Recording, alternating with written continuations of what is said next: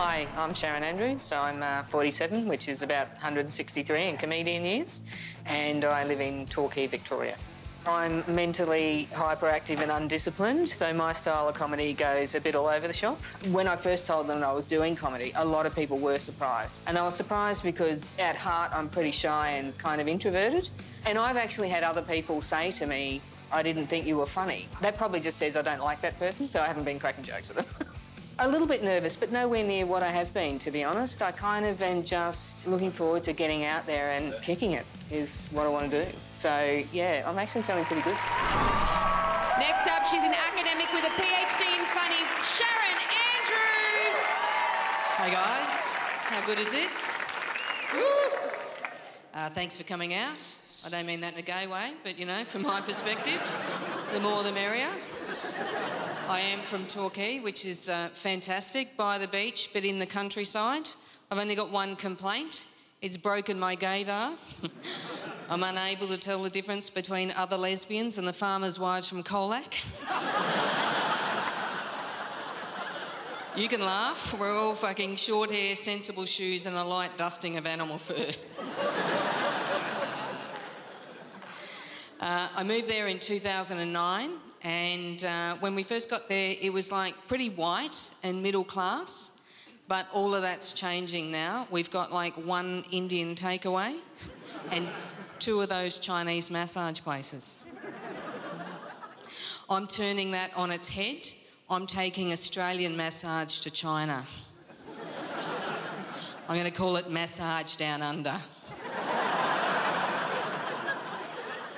I got my style worked out. I'm going to heat up the bottom of a pair of thongs and just go hell for leather. it's all good.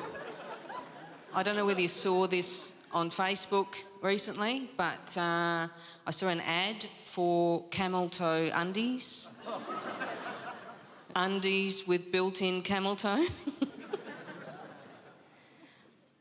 I'm wearing them now. I'm not. I just like it when people stare at my crutch. yeah. And nobody would do that off their own bat. I did want to order a pair though, and they only come in Asian size L. I wouldn't get one flap in them, let alone both.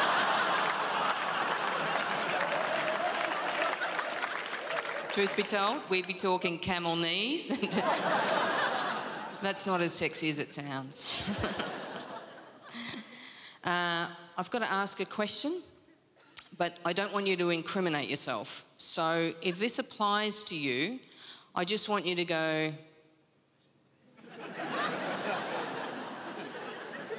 All right. Did, uh, did anyone come here with uh, a friend who's a bit stupid? a, bit, a bit thick as a brick. I, I, I saw that. It was subtle, but I, I got it. Is it that one? Huh? It's not. I wouldn't have picked it. I would have thought that one. Don't worry, your secret's safe with me. Uh, I've got a friend who is as dumb as dog shit, and I love her for it because uh, it amuses me no end.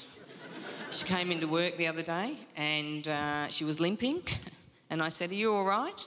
And she said, uh, I've hurt myself. She lifted her skirt up and she said, I burnt myself and there's a, there's a V and three dots.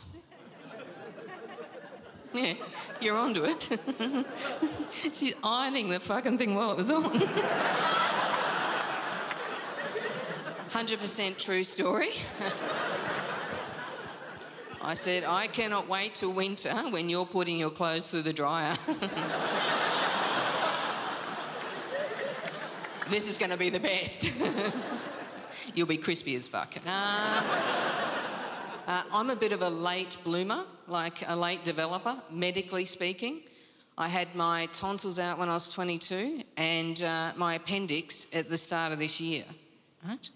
And I was in Geelong Hospital, and uh, this nurse comes in. She said, uh, "I've got a couple of questions for you." She said, "Do you drink?" And I said, "Yes, socially." but it's very Australian, isn't it?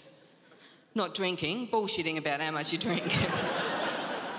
uh, and she said, she followed it up with a weird one though. She said, Do you ever wake up feeling guilty after you've been drinking?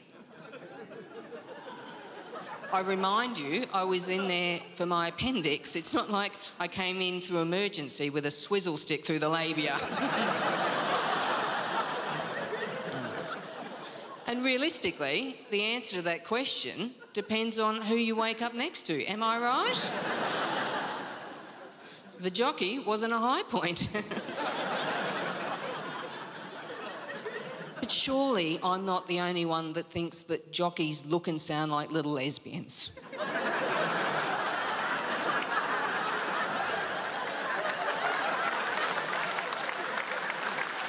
All I'm saying is it's an easy mistake to make.